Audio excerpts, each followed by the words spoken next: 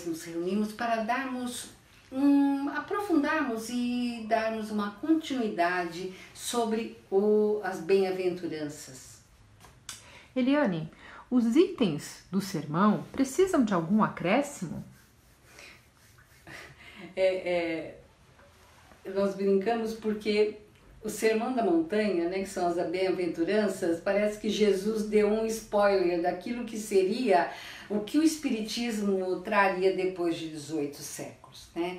E não precisa de acréscimo nenhum. Eu, particularmente, vou pedir para usar o nome eu, eu colocaria assim: basta agora começar a, a fazer. Né? Eu acho que é só isso que está faltando, porque ele é completo e ele traz um alento ao coração daquela pessoa que está passando por determinada situação. E nós sabemos, né, no momento atual, todos nós de alguma forma estamos passando dias que são mais tranquilos, dias que nos trazem mais preocupação, às vezes dias que ficamos um pouco tristes, mas não podemos desanimar, né? Precisamos ter ampliar a nossa fé e a nossa esperança para que a gente possa realmente entender o conteúdo das bem-aventuranças que Jesus disse naquele monte.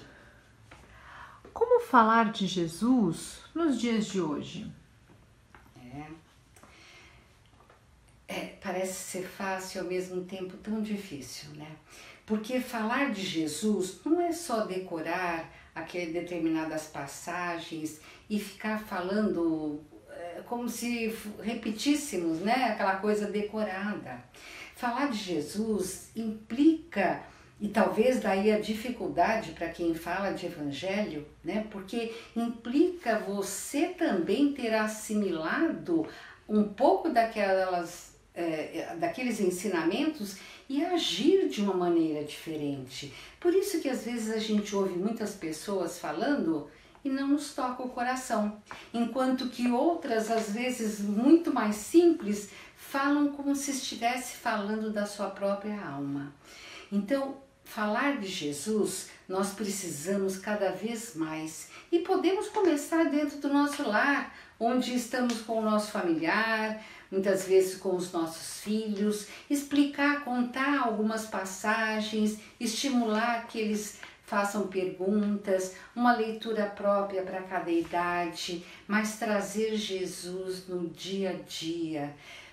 Primeiro através dessas passagens e dessas histórias, e depois a gente vai assimilando de tal forma que a gente começa a praticar, ainda que acerta uma, falha duas, cinco, cai, levanta de novo, mas é assim que a gente vai aprendendo. Quais os principais problemas espirituais comuns às pessoas no hoje?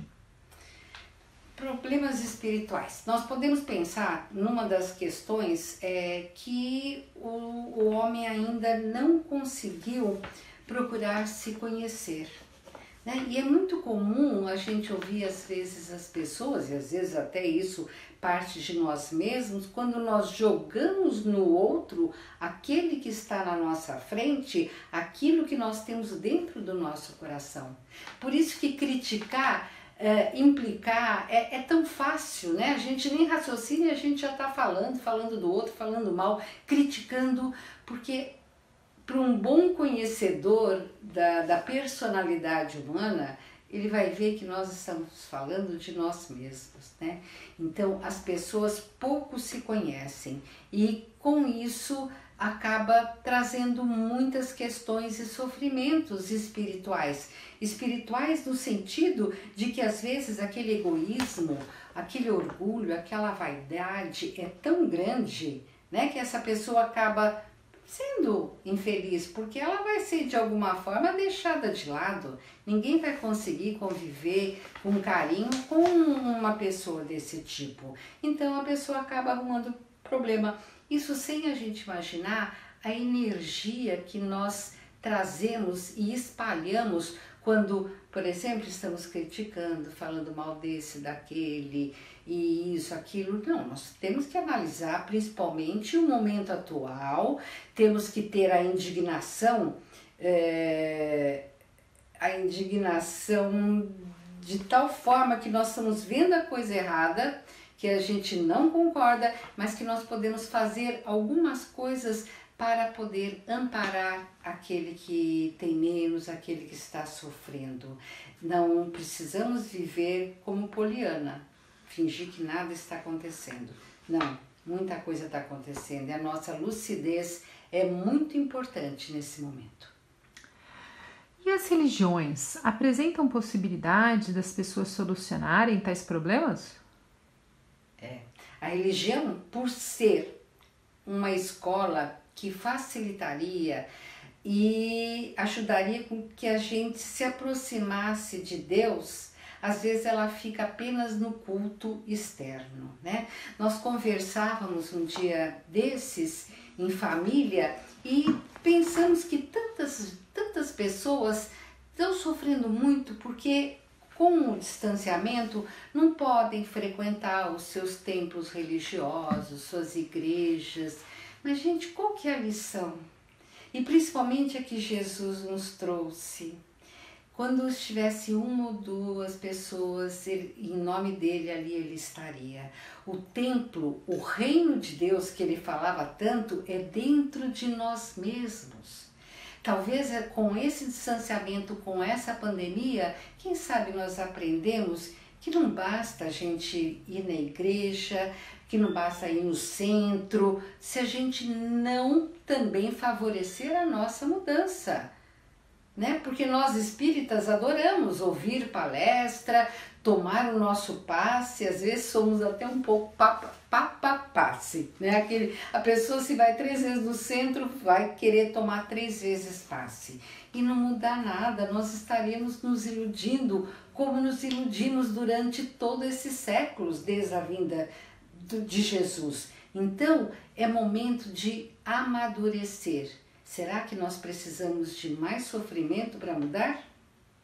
Tem até uma história, é, uma lenda bastante interessante que tem um cachorro que está moado, chorando de voz, momento para outro ele dá aquele grunhido e alguém chega e fala: Mas o que tem esse cachorro que está dessa forma?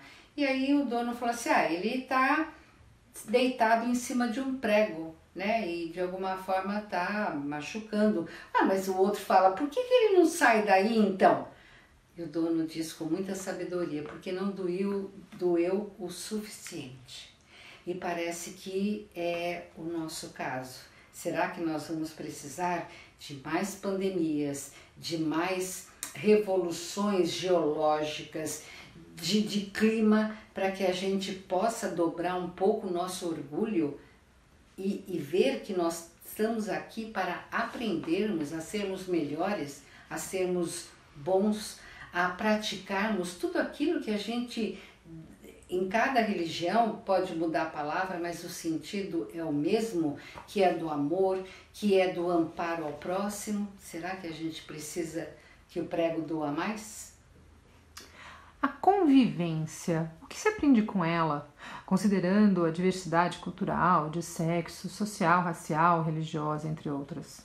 Primeira lição, né, para que a gente estipe do nosso ser é, esses preconceitos arca arcaicos que nós trazemos há milênios. Todos nós já passamos por escravidão, seja ela no Egito ou da África que foi para outros países. Todos nós já tivemos dinheiro, todos nós já fomos pobres, já tivemos muita saúde, viemos com inúmeras deficiências, nós passamos já por todas as situações. Então, que absurdo é esse de ter preconceito? Ah, aquela pessoa tem, sei lá, uh, ideologia política, ah, porque o outro tem aquela aquela cor, porque o outro tem aquela cultura, tem aquela religião, ah, porque o gênero. O que, que é isso? Cada vida que nós temos, nós somos colocados em funções, em lugares diferentes para aprendermos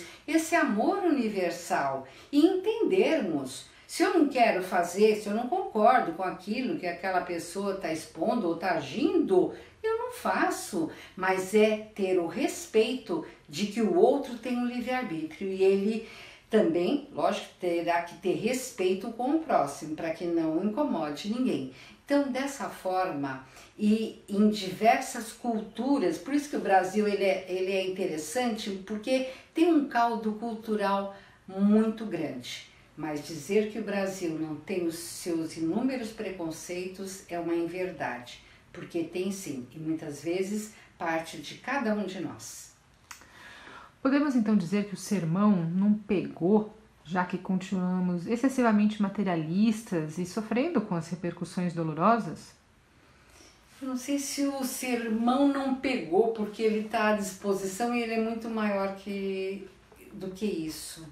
Nós é que resistirmos na mudança necessária, no amadurecimento. Somos crianças ainda, ou mais meio que adolescentes, que quando nos convém, somos crianças. Quando nos convém, somos adultos, como falar comigo? Olha a idade que eu tenho. Então, isso ainda continua sendo de uma imaturidade muito grande. O sermão da montanha, as bem-aventuranças, é clara, clara, e a, vai trazer o alento a, aos necessitados. E todos nós somos necessitados diante de dessa ou daquela situação. Então nós precisamos entender que é necessário vivermos na matéria, termos o trabalho, termos a, as relativas posses, nos alimentarmos, tudo isso, mas que nós podemos fazer muito mais isso é, cultivar mais a humildade. Chega de sermos orgulhosos. Né? São dois mil anos onde estamos errando. Deixarmos inúmeras coisas de lado, porque quando nós desencarnarmos, nós vamos levar só aquilo que nós fomos. Né? E se hoje ainda estamos aqui encarnados diante dessa situação com milhões de mortes pelo planeta todo, é porque ainda falta fazermos alguma coisa.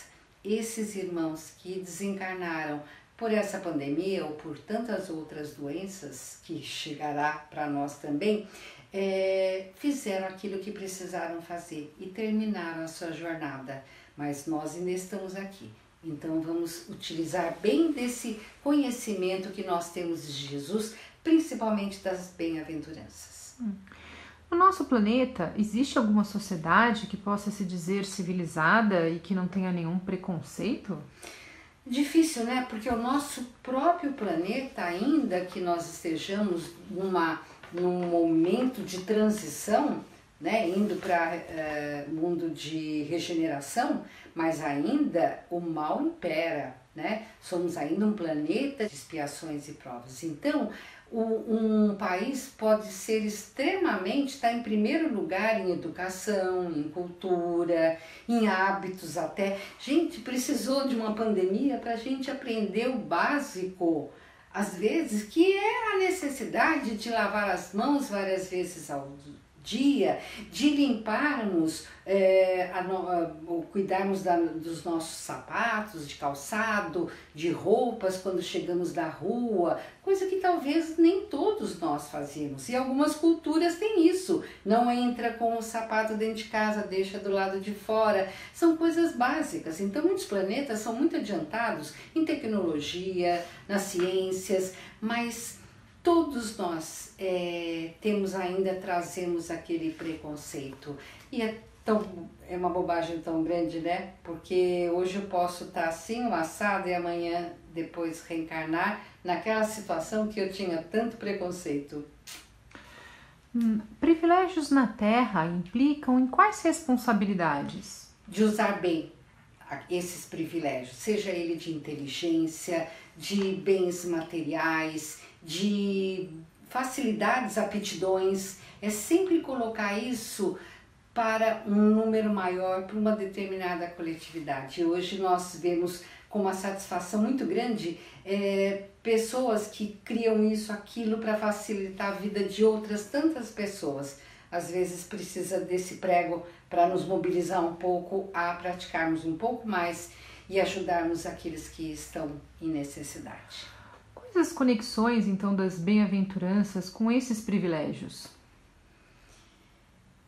O que, que nós poderíamos é, pensar que é, nós temos à nossa disposição esse conhecimento, principalmente que o Espiritismo nos traz. Né? Nós entendemos a bem-aventurança, ou seja, determinada bem-aventurança, o que ela quer dizer. Então, nós precisamos colocar isso a serviço do nosso crescimento espiritual e daqueles que estão conosco, porque se cada um de nós começa a mudar em algum sentido, nós vamos promovendo essa mudança, primeiro, às vezes, tendo a possibilidade na família, ampliando para as relações sociais, às vezes na empresa, adquirindo outros hábitos mais salutares e vamos aumentando dessa forma.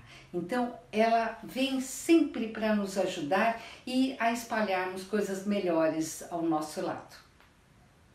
Amigos, nós terminamos mais esse plantão de resposta agradecendo a companhia de vocês e pedindo que Jesus nos ampare nos abençoe e continue nos dando a oportunidade de trabalhar em seu nome.